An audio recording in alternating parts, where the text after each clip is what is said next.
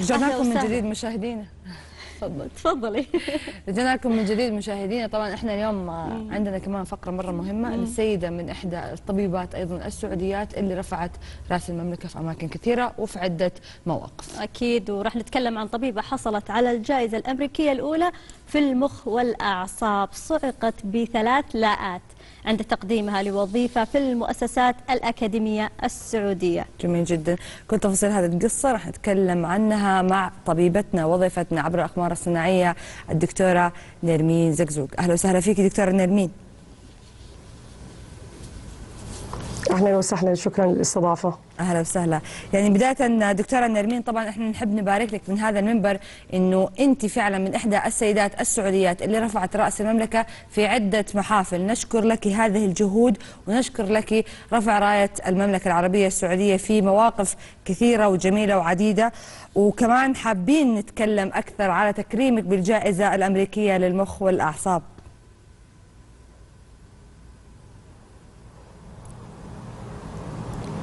شكرا لك. أهلا وسهلا. بالنسبة للجائزة آه، هو أنا طبيبة متدربة آه، في جراحة المخ والأعصاب آه، في كندا. وقررت إني آه، أترك برنامج الزمالة لفترة مؤقتة أو آه، يعني زي ما يقولوا part time عشان آه، آه، يعني آه، أكمل دراسات عليا في آه، مجال الهندسة الطبية والابتكارات الجراحية. فالحمد لله أتوفقت إنه آه، طبعا أحب قبل يعني حتى ما أنسب كل شيء لنفسي أكيد إنه هذا الشيء ما كان راح يصير.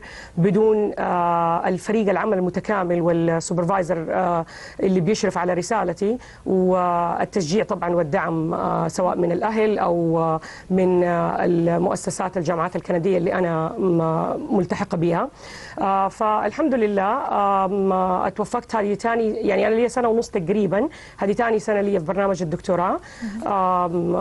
في المجال اللي ذكرته الهندسة الطبية والابتكارات الجراحية. والحمد لله آه، قدمت البحث للهيئه الأمريكية لجراحة المخ والأعصاب آه، يعني أو بالإنجليزي ما يعرف ب Congress of Neurological Surgeons وهي من أكبر المنظمات معروفة عالميا يعني على مستوى أمريكا وكندا أو شمال أمريكا وأوروبا بصفة عامة.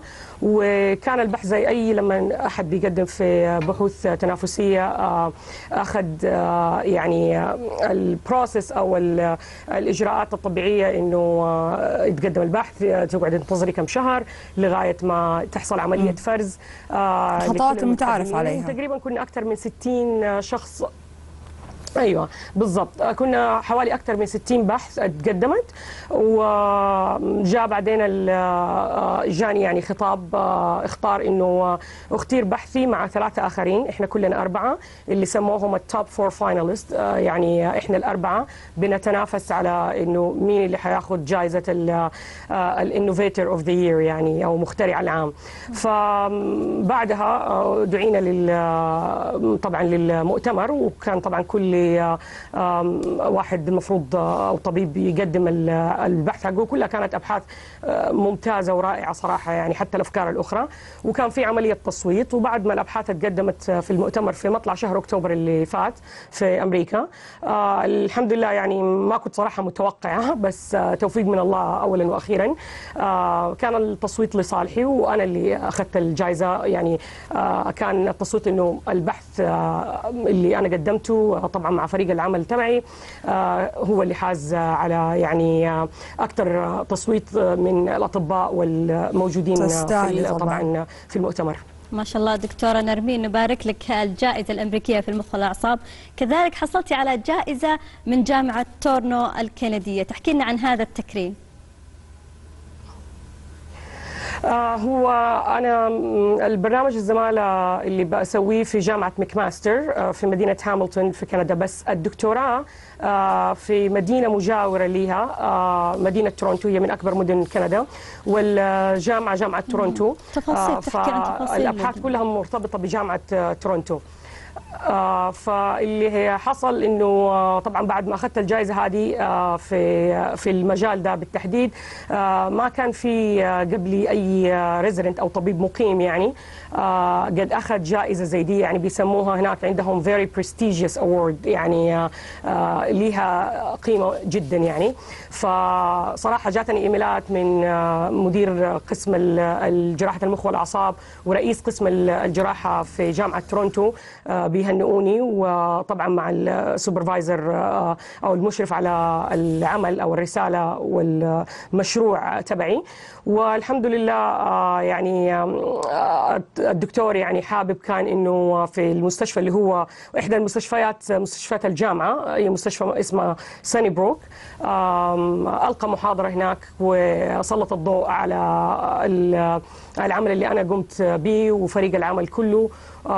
فيعني كان حابب يدشن هذا التكريم إنه هذا شيء أول مرة آه، في يعني في الجامعة في جامعة تورونتو إنه أحد يحصل على جائزة دي نتيجة الأبحاث وهي طبعا جامعة لها باع طويل في الأبحاث يعني آه، وبيحصلوا على جوائز عديدة يعني أنا لن أكون ما كنت الأولى ولن أكون الأخيرة بس زي ما ذكرت يعني هذه كانت آه، جائزة لها وزنها بزيادة طبعاً. كانت الأولى من نوعها في هذا المجال أكيد. وبالنسبة للجامعة يعني دكتورة نرمين شيء غير مستغرب على سيدات الوطن ان هم ما شاء الله يبدأوا يبتكروا ويعملوا بحوثات ممكن تفيد البشرية ككل ليس فقط المملكة العربية السعودية، لكن لما نجي نتكلم عن بحثك ذكرتي لنا في إجابتك على أول آه، سؤالنا لك إنه البحث أخذ البروسس الطبيعية وأخذ الإجراءات الطبيعية وسويتيه وقدمتيه لكذا مكان.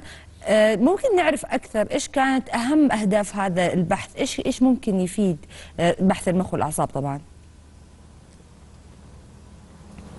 آه والله هو الحكاية كلها بدأت إنه أنا شغوفة بالبحث العلمي. آه يعني هذا شيء آه في ناس من الأطباء بيقرروا إنهم ما يكون بس تركيزهم على العمل الكلينيكي آه ممارسة المهنة في ايا كان المجال. آه والبحث العلمي طبعا ما هو مقتصر أكيد طبعا يعني على جراحة المخ والأعصاب. فهي الحكاية بدأت إنه آه، أنا قررت إني آه، يعني كان عندي أكثر من فكرة آه، ابتكارية. بدأت يعني بشيء جدا بسيط مجرد إنه الواحد يدخل غرفة العمليات ومع ممارسة المهنة وفترة التدريب والاحتكاك بالبيئه هذه وكون إني شفت أكثر من عملية يعني. وأنا واقفة في غرفة العمليات بفكر في نفسي إنه لازم يكون في طريقة أحسن نطور بها الشيء ده.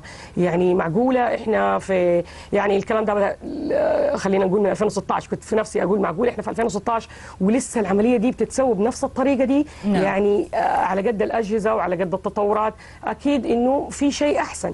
فهي المسألة تبدأ بإنه الواحد عنده شغف إنه يطور يعني كان آه، يمكن. مجمل طبعاً البحث دكتورة نرمين؟ كيف يوظفها؟ آه، كان ممكن يكون مجمل البحث كيف نقدر نطور من العمليات اللي إحنا بن بنسويها للمرضى سواء كانت عملية آه، في المخ والدماغ وتتطلب إنه فك يعني حابة إنه أنت تغيري الطريقة القديمة المتعارف عليها.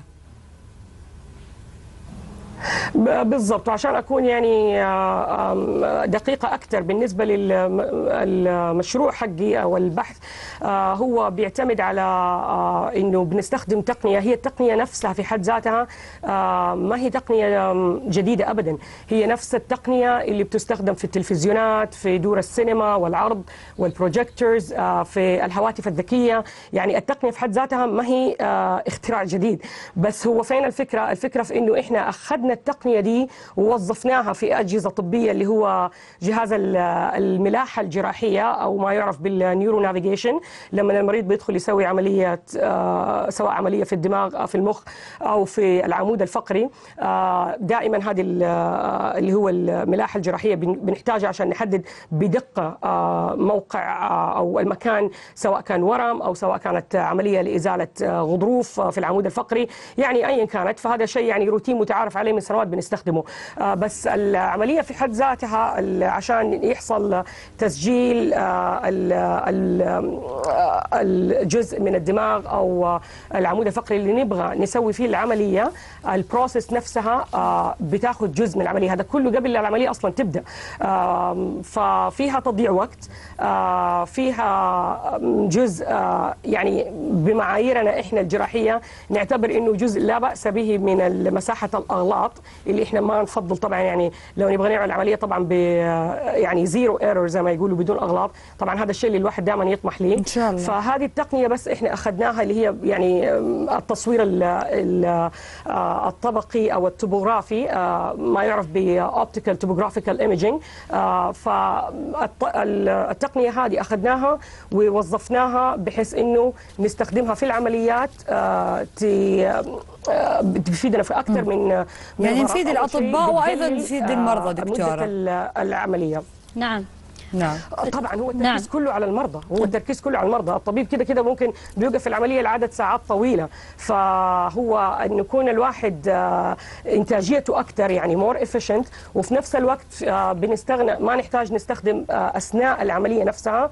عشان نتأكد مثلا من موقع ال- المكان اللي إحنا نبغى نستأصل فيه الورم أو نبغى نتخذ منه الغضروف نعم. يعني اللي هو ال- ال disc في العمود الفقري طيب. ما نحتاج لا نستخدم الأشعة التصويرية اللي هي ال X-ray ولا ال MRI ولا الأشعة المقطعية يعني عشان كده طيب دكتورة نرمين خليني أسألك آه، إيش السبب تعتقدي في سبب اعتذار الجامعات السعودية عن استقطابك؟ هل هي ممكن تكون إجراءات التعيين إنه يكون امتداد التخصص دقيق مثلا؟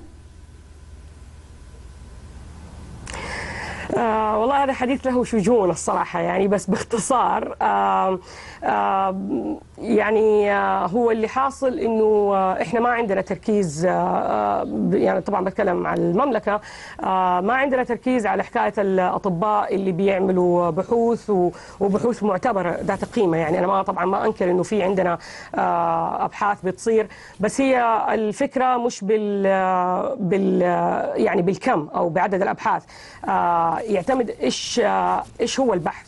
وإيش مدى تأثيره؟ وهل فعلا يحدث آه، آه، نقلة نوعية أو طفرة في آه، سواء دواء سواء استخدام جهاز سواء في في عملية أو في أشياء غير عمليات؟ أنا بتكلم بصفة عامة.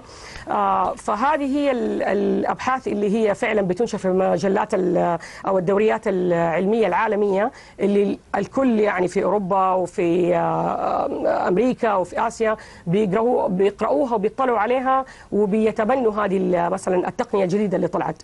آه، بس للأسف آه، التركيز عندنا آه، في المملكة بالتحديد آه، إنه ال- الطبيب المبتعث يخلص درجة الزمالة وبالكثير يسوي له سنة أو سنتين اللي هو ما يعرف بالتخصص الدقيق أو الفيلوشيب وخلاص يرجع يمارس المهنة.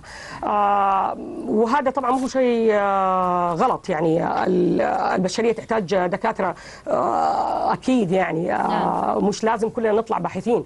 بس هو جرت حتى العادة في الدول الأجنبية آه، يعني يمكن ما لا يزيد عن 30% حتلاقي في كل برنامج آه، مثلا في كندا وامريكا اللي من الطلبة أو الأطباء اللي هم الريزيدنتس الأطباء المقيمين بيقرروا إنهم آه، يتخذوا منحى مختلف إنه عندهم يعني الرغبة هذه والشغف بالأبحاث ف برا بتلاقي دعم كبير نعم. ولو حنفكر ببساطة جدا يعني كل الأدوية هذه كل الأجهزة كل التقنية يعني أتكلم حتى على الطب أو غير الطب لو حنفكر هي نتيجة أبحاث. نتيجة سنين طويلة من الأبحاث يعني التليفونات اللي بنستخدمها الأشعاعات صحيح. اللي الواحد لما بيروح مستشفى كل شيء حواليك لو حتفكري فيه نعم، أي. حبه دواء هي ما جت في يوم وليلة هو في ناس قعدت سنين تعمل ماجستير ودكتوراه بغض النظر حتى عن ال... ال- وما بعد حتى الدرجة العلمية بيقعدوا يسووا أبحاث وهذا الشيء شغفهم أو الباشن. حقهم يعني ف نتمنى هي- لك كل التوفيق وشاكرين لك مداخلتك مشاهدينا مكملين معاكم البرنامج لا تروحوا بعيد فاصل وجاي.